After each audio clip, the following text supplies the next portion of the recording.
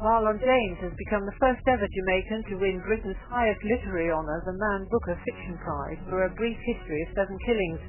The 686-page novel, which uses Jamaican patois, tells the story of a drug-fueled gang of ghetto kids who try but fail to kill reggae star Bob Marley.